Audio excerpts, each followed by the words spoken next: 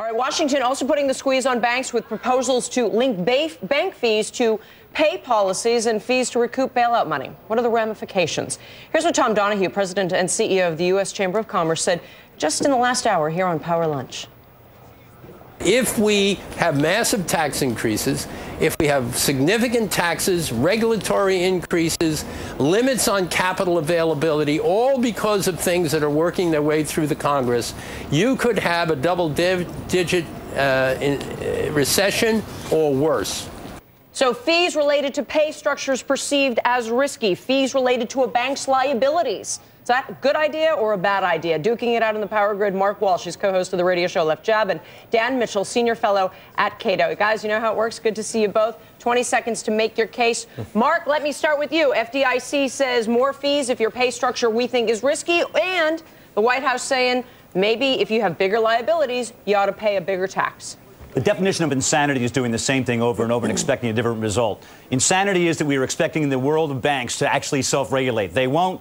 Re regulation is important, and taxes are the only single tactic that will make uh, behavior change. This is like a sin tax on alcohol and cigarettes. We got to tax the sinful behavior of these banks in the past and make sure they don't do it again. Dan Mitchell, do you see it that way? I don't think investing in the American economy is a sin. I think we need to look at the fundamental problem, which is bad government policy. It was easy money from the Fed that set the stage for the bubble. It was the corrupt system of subsidies from Fannie Mae and Freddie Mac that then caused the whole thing to blow up. We need to figure out how to get government out of the market so we don't have a repeat of government caused mistakes. Mark? What do you You're, think of that? I, I love it when people blame easy money as the reason that banks misbehave. You don't? Easy, eh, no, easy money is not, that's a symptom, but the banks took the easy money and handed it out in risky structures that sold downstream. This is what banks did. Regulations were not enforced. Regulations are on the books to take care of this. We have to enforce regulations and tax misbehavior to make sure behavior is modified. That's how you do it. Dennis? Hey, Dan. No, the, the, the, the, simple thing to do would have been to take the banks that made the bad decisions, because you're right, some of them did. They should have gone out of business. Unfortunately, we have this corrupt version of recycling in Washington. The politicians take money from taxpayers, give it to the banks, and then the politicians expect the banks to recycle it back to them in the form of either higher taxes or campaign contributions. I want to end that corrupt system of Washington back scratching. See, Mark, he's saying we'd never be here if we had just let all those banks fail. Uh, well, I, I, say this lovingly. For once, I actually agree with the Cato Institute stance. I think too big to fail is an oxymoron. America is based upon failure and success. So I believe the Obama administration, the Bush administration made mistakes there. Okay, Dan. Look, let, let, me, let me jump in for, for, for Dan, if I might. Do, do, you, do you have a problem with the idea that, that a company, just like an individual, who engages in risky behavior ought to pay more for insurance?